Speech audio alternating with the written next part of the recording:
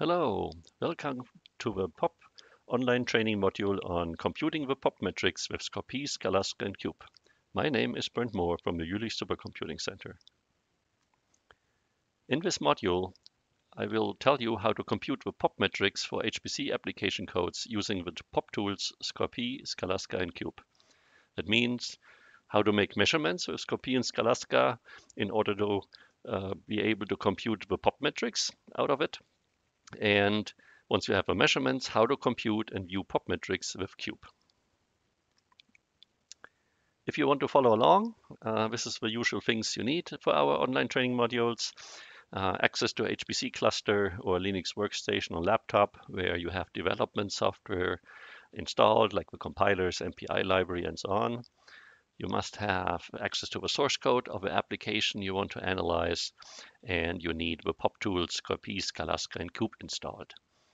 Uh, before you can use them, make sure you have the bin subdirectories of the tool installation prefixes in the environment variable path. And I assume that you are somehow familiar uh, with the tools Score-P, Scalasca, and Cube and how to use them.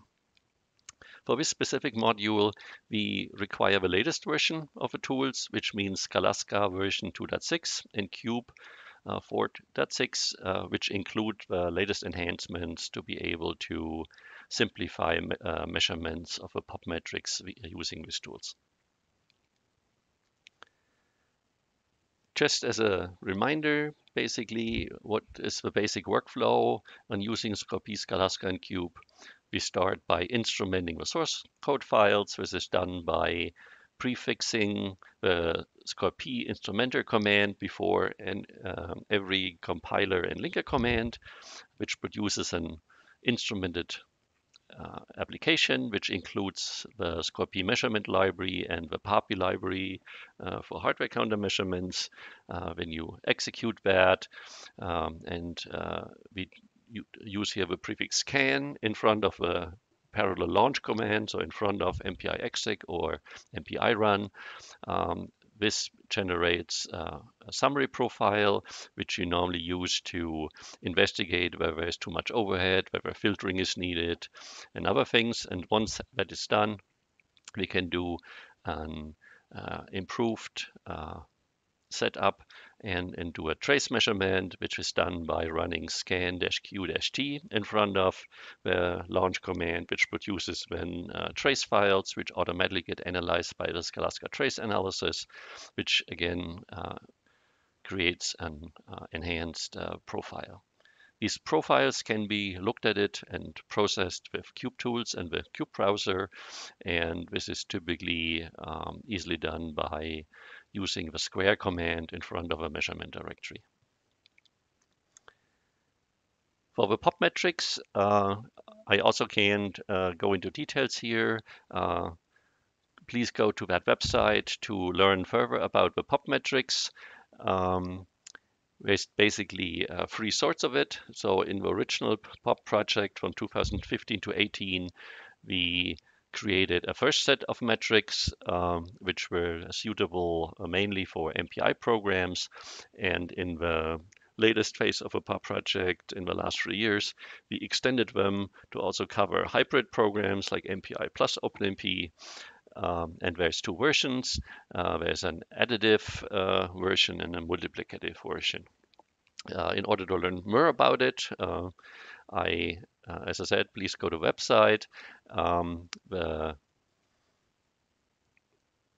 the article here is a good uh, uh, introduction text uh, to explain everything. If you're more a, a visual type, uh, I suggest to uh, listen to that webinar, which we recorded, uh, which explain the, these new metrics. Okay, so in order to, to do a measurement with Score-P and Scalasca, uh, the pop metrics, uh, we of course have to do the usual uh, instrumentation and setup of a measurement uh, first as in in uh, every measurement you know like you you instrument by using Score-P in front of a compiler link commands. You do a first uh, uh, profile experiment to uh, determine overhead and, and, filtering and so on. But once that is done, you can do then the pop measurements. Uh, in this case, you have to do actually, again, two measurements. The first one is for the for computing the parallel efficiency. Uh, for this, we need uh, a trace measurement and analysis. And for computing the computational scaling, we have to do uh, profile measurement with suitable hardware counters. In order to simplify that, we introduced uh, the so-called presets. Uh, so scan has now a new option dash P for preset, and by giving it the uh, value pop, uh, scan knows exactly what two measurements uh, to do in what order with what hardware counters and so you don't have to remember. So once you do that, you basically get this profile and trace measurement. Uh, after that, we have to merge them together in a single file, uh, post-process them, and after that, we can analyze the, the file with the Cube Advisor. Uh, again, these last three steps are uh, simplified by using square in front, of a measurement archive and when uh, it recognizes as a special pop uh, measurement and, and does the three steps automatically. Normally, uh, these uh, analysis with pop metrics is done um, with various uh, different number of ranks or number of threads. And so you have to repeat basically the last steps for a different uh, number of uh, like ranks and threads.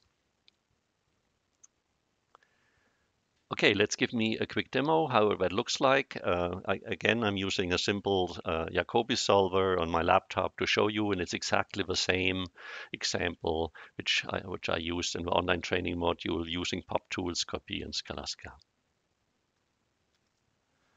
Okay, here to basically uh, uh, simplify the, the, demo, I already did the, the usual beginner steps. So I, I set the environment variable path to include the, the tool directories.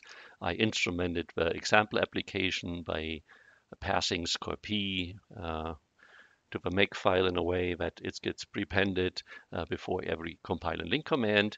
And then I did uh, a first measurement running it based on profile, looked at it, uh, scored it, and, and see whether uh, overhead is needed. In, in that case, it's not uh, uh needed. So we can directly go ahead and, and redo the, the, measurement. Just this time, we pass the preset pop to it.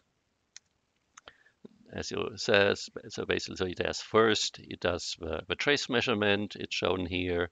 Uh, now uh, it did the the trace analysis, and here it does the second run uh, with a profiling with PAPI counters. And so you see this is greatly simplified. It reruns all the necessary things and all the data is stored here. So we just uh, post-process it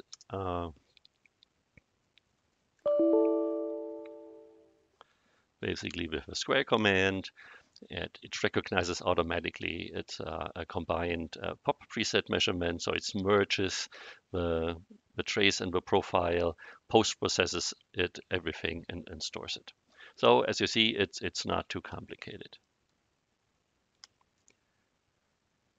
Okay, uh, in order to show you how the Cube Advisor works and looks, um, I'm using a more interesting example like the last time, uh, which uh, uh in the POP online training on using POP Tools Cube, I'm using a measurement on the TeaLeaf mini app.